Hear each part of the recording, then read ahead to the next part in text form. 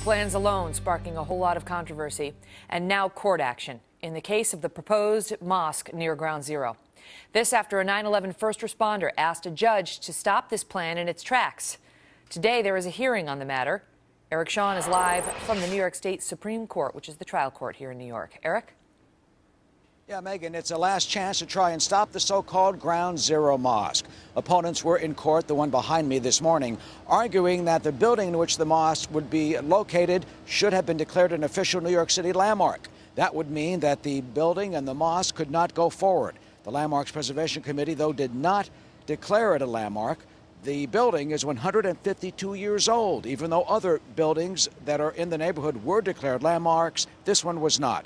Supporters of the project, though, say the building has no historic significance. Former firefighter 9 11 survivor Tim Brown, along with the Conservative American Center for Law and Justice, say the mosque should not be built. These particular people, uh, I think, are un American.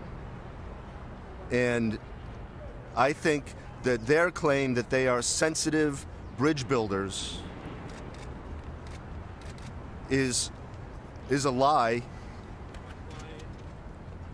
as demonstrated by insisting to build the, in this particular spot. This isn't about the historic building. This isn't about ground zero. It's about hatred of Muslims. And if they're going to hate Muslims today, then who are they going to hate tomorrow? Well, the decision is expected in about a month. Meanwhile, there seems to be little progress over at the building site.